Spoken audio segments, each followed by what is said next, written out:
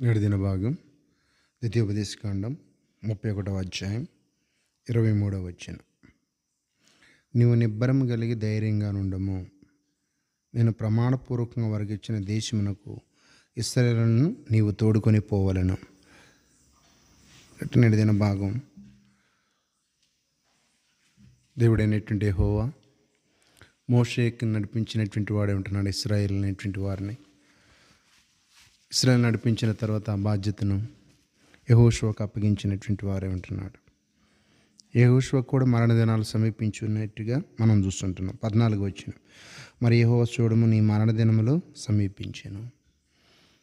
తర్వాత యహోషువ విషయంలో కూడా నీ మరణ దినములు సమీపించినవి అనేటువంటి వాడుగా ఉంటున్నాడు. అయితే ఇక్కడ ఏమంటున్నాడంట? ముప్పై ఆరో వచ్చిన ఇదిగో నువ్వు మీ పితరులతో పండుకొనబోచున్నావు. ఆడదినాలు సమీపించినాయి.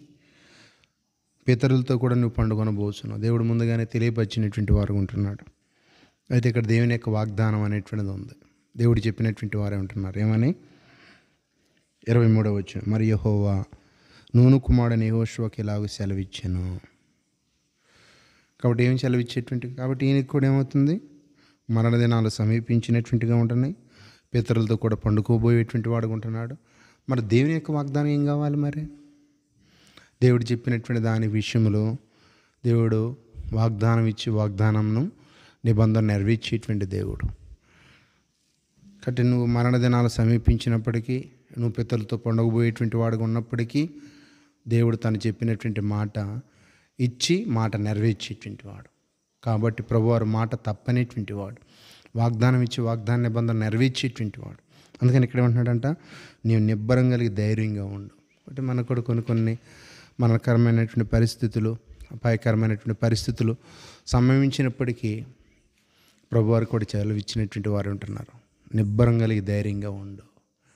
ఇవన్నీ కూడా ఉండినప్పటికీ ఇవన్నీ కూడా జరక్కోకోకుండా దేవుడు నిర్ణయం తీసుకుని వెళ్ళేటువంటి వాడుగా ఉండడు. కాబట్టి దేవుని యొక్క వాగ్దానం ఏమైతే సెలవిచ్చినటువంటి వారు ఉంటున్నాడో వాగ్దానం నెరవేర్చిన తర్వాతనే దానిని స్థిరపరిచేటువంటి వారు అందుకని ఇక్కడ నీవు నిబ్బరం కలిగి ధైర్యంగా ఉండము అంటున్నాడు. నేను ప్రమాణపూర్వకంగా వారికి ఇచ్చిన దేశమునకు ఇస్రాయల్ను నీవు తోడుకొని పోవలను. నేను నీకు తోడై ఉందను. ప్రమాణపూర్వకంగా దేవుడు సెలవిచ్చినటువంటి వారు.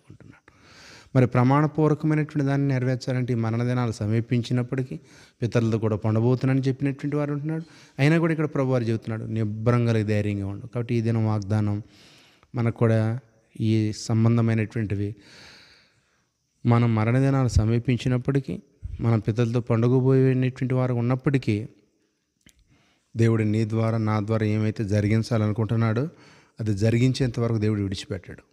అది నెరవేర్చిన తర్వాత మన యొక్క పిలుపు అనేటువంటిదే ఉండదు. అందుకని ప్రభువారు దేవుడు మన ద్వారా ఏమైతే నెరవేర్చాలనుకుంటున్నాడో నెరవేర్చేంత వరకు మనల్ని మన జోలికి రాడు. ప్రభువారిది మన ద్వారా ఏమైతే అయిపోయిద్దో అప్పుడు దేవుడు మన పని పడతాడు. గుర్తుపెట్టుకోవాలి.